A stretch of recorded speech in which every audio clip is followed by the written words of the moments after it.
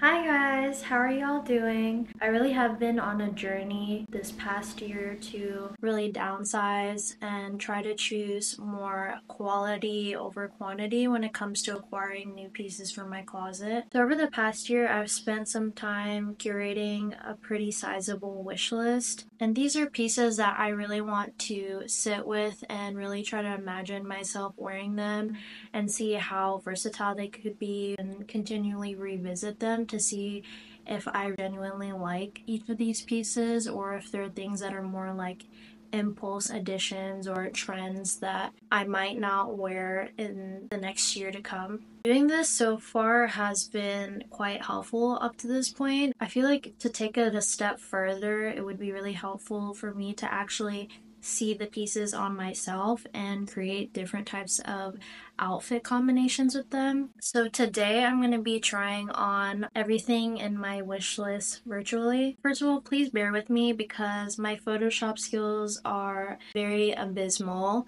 but I feel like this is going to be a really cool way for me to look at everything in my wish list and really consider if these are pieces that I do want to invest my time and money towards eventually acquiring. I decided to put together 10 different outfit combinations, mostly geared towards spring and summer. I feel like what I've curated overall really creates a sense of the style I would ideally like to have. So, let's get into it. This first outfit is definitely very true to me, I feel. I definitely gravitate more towards neutral monochrome colored outfits, and I feel like you can never go wrong with a black and white outfit. I have this Spill halter tank top from Tankair, which I have been thinking about purchasing for quite a while. I heard that it's very flattering, and I feel like it would be very versatile. These are some pants from Paloma Wool. They're very simple, but I really love the wide leg design and the slouch slouchiness at the bottom. And then there's this very simple but elevated waistband detail, which I really like. I feel like these pants are definitely giving off his siren, which I love. These are some Paloma wool sandals that I've been eyeing for quite some time now. I did purchase a very similar dupe, but I think I'm gonna return it and I feel like I'm gonna end up buying these. I just think they're so cute. I feel like they're not for everyone, but I personally really like them.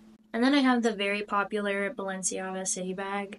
Um, I would definitely purchase this secondhand for various reasons, but I feel like this is an effortlessly chic bag. I would definitely get like a bigger size because I'm a huge big bag girl.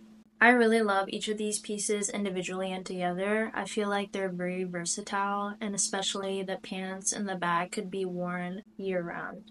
This is a very spring summer vibe outfit. I really love this cutout scarf top from Guizio. I think it's so effortless and chic. I'm definitely very drawn to this top. I think it's very beautiful. I love the cutouts in it. It's minimal but eye catching, and then the scarf that's built in is really chic.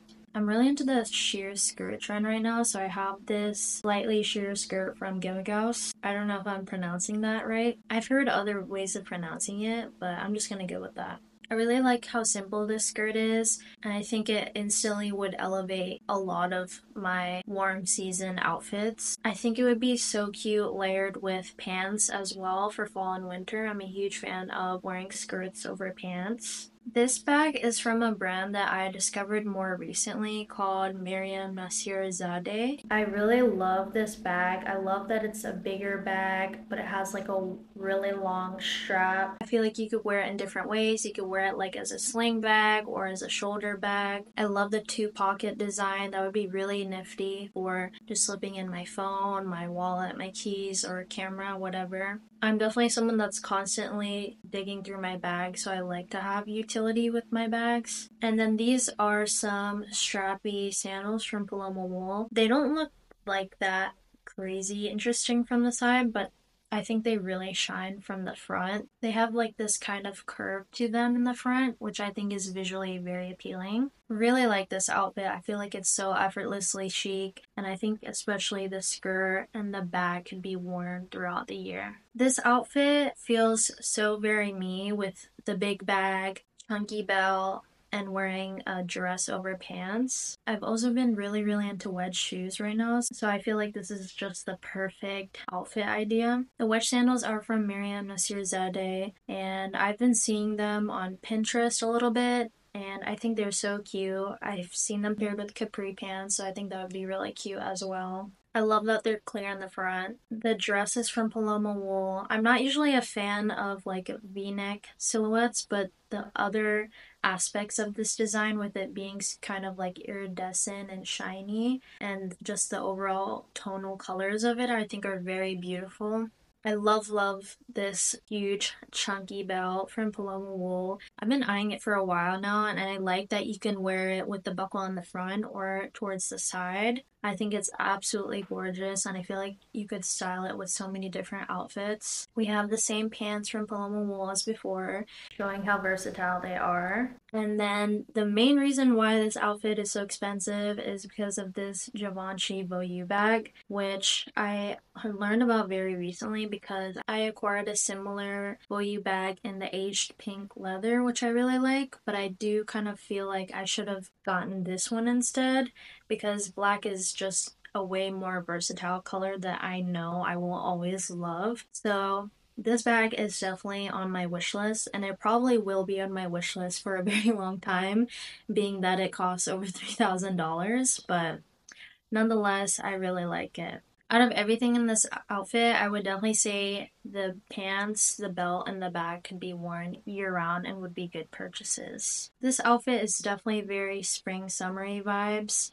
I love this top from Peachy Den. I've been seeing it a lot, especially with the matching skirt as a set. I don't think the skirt is like really an essential need because I have similar skirts, but I really do like the top. I think the ruching is very unique and elevated, and I love, love a boat neck neckline. I'm also a really huge fan of micro shorts right now. I've been styling them more this summer, so I think they're perfect, especially in this really hot weather we've been having. And I love that these are knit, which makes them feel more elevated. I'm not sure how I would feel about this specific color against my skin, but in general, I do like the material and the silhouette of the shorts from Guizio. I've been really into these Paloma wool socks ever since I first saw them. I think the color is so cute. I really want to acquire more interesting socks, especially with cutouts. I've seen similar socks styled with mules, and I think they're just super, super chic and interesting. So I really want to acquire socks like these. I'm also really a big fan of pointy mules or slingback heels. I love the little lace-up detailing in the front. And then this Gimme shoulder bag I think is super cute. When I first saw it, I wasn't that into it, but I've been seeing more people wear it, which could be a sign that this is more of like a trendy piece that I might not like in the future. But the main thing I do like about it is that it's silver, which I've been into for a while now. So who knows, maybe I'll like it for longer than I think I will. We'll see. I feel like this outfit is like the perfect combination of 90s minimalism and modern chic. I think this dress draping is very interesting and beautiful. I love that it's asymmetrical both on the shoulders and the bottom from Belle the Label, one of my top favorite brands for a while now. I have shoes very similar to these Miu Miu thong boots, but I don't think the quality and the construction quite compares to these boots. I think these are very fitted to your leg, which I really like. I think they look super edgy and cunty and very good.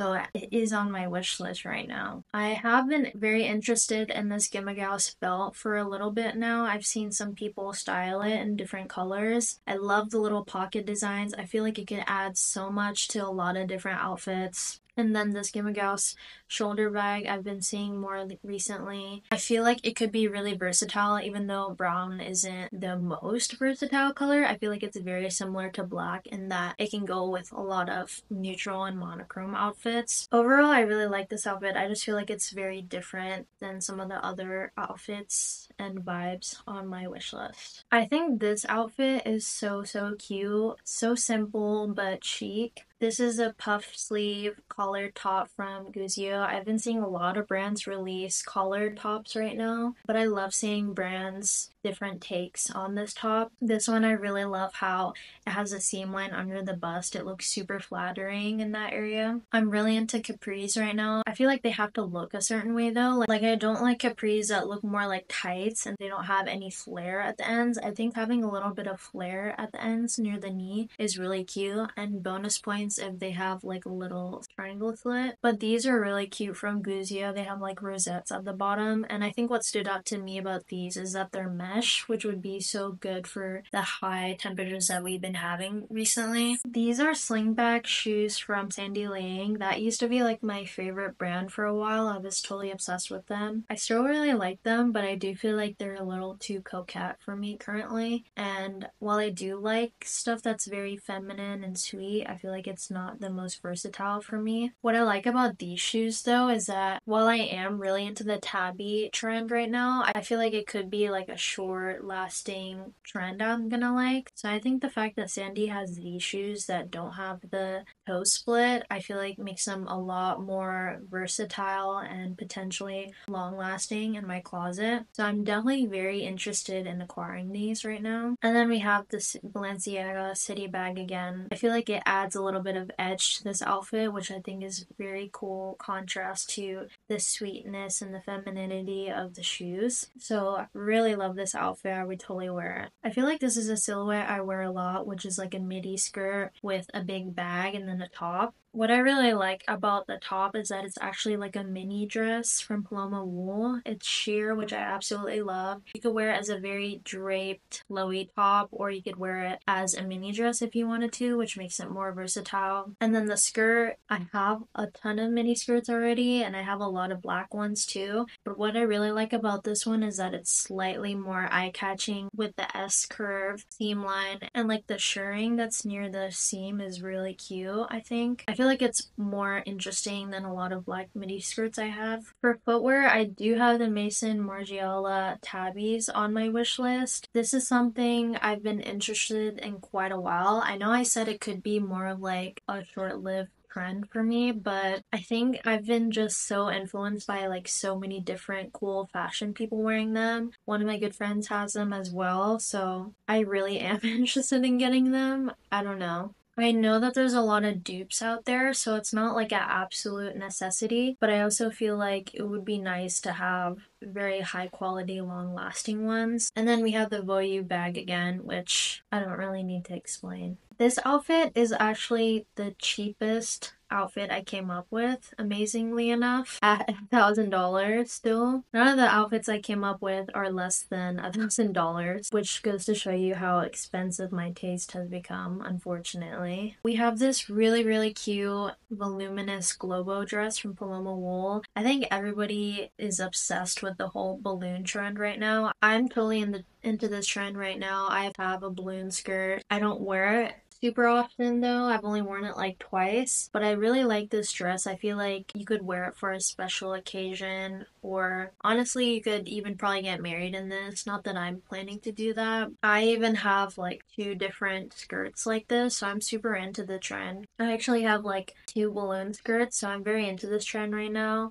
I don't think this dress is a necessary purchase really because I have worn my longer balloon skirt with a white tube top before and it definitely gives that illusion of this dress, which is really nice. So this would probably be something I wouldn't purchase from my wish list. I still really like it though. Really love this big chunky belt from Paloma. I love the baby blue color. I feel like I really don't own any baby blue in my closet and I'm very into chunky belts. I could see this being such a fun pop of color on my outfits because I really don't wear color, but I feel like baby blue is like a funky, fun color to incorporate. Of this bean bag from them. I'm not a huge, huge fan of the silhouette to be honest. I don't like that it looks like a bean. I think what I like more about it is that it's silver and I like the size. I tried this bag on in their store in New York and I overall like the vibe of it. So I don't think this is necessary, but I would want something similar to this for sure. And then we have their studded sandals again, which I really want to buy. This is another very me outfit. We have a dress layered over pants. This dress is a sheer lace floral dress from Susamusa. Really love that brand. I feel like they have so many very chic 90s minimalism, timeless pieces. This one feels a little bit more trendy because I feel like every brand is releasing lace sheer dresses and midi skirts at the moment. But I really do love the silhouette of this. I love the deep v neck. I love how it's curve hugging. And I think it would be so great to layer with boleros, shrugs, cardigans, and over pants. So, of course, I had to include the Paloma wool trousers again. I really do feel like these would be a good purchase because of how many outfits I can combine them with. I have this one shoulder kind of interesting long sleeve scarf situation from Paloma. I'm really bummed because I tried to buy this off of someone selling it on Depop, but then they never shipped it, which really fake of them. So I had to get my refund, unfortunately. But I do really want to acquire this piece as impractical as it may be. I just feel like it adds so much visual interest and fun to an outfit. So I definitely think I want to acquire this piece eventually. We have the pointed slingback heels from Open YY again. I feel like pointed heels look so good peeking out under trousers. It's so chic to me. And then we have the Balenciaga City bag again. I mean, it just really goes with everything, to be honest. I think I really need to get one. This is the last outfit I came up with. Very spring, summer vibes. I think there's a lot of visual interest going on here, like with this asymmetrical draped bra one shoulder top from Paloma Wool. I don't really like to wear it brown, but when I do, I prefer chocolate brown. So that's why I paired it with this Gauss chocolate shoulder bag. I feel like this outfit is balanced very much between brown and gray, which is really nice. I don't usually wear those colors together, so I think this would be an interesting outfit. Really love mini micro shorts. These ones are from Belle the Label. I really love how they have like these loops through the waistband. So you could put like a cute belt or even a scarf like they did through them. I think that just adds a little bit extra to them. I already have shorts that are very similar, but these I think are just interesting for that aspect, especially. We have the cutout Paloma wool socks again. I just really love them. I don't know. I don't think they're absolutely necessary. I do feel like maybe I could just DIY these or buy a cheaper version of these maybe. I think they just add a lot of interest to the foot area. And then to finish off, we have the Sandy Liang slingback heels. I think they'd be really cute with the socks. I really like this outfit. I think it's fun, I think it's interesting, and I think I would feel really good in it.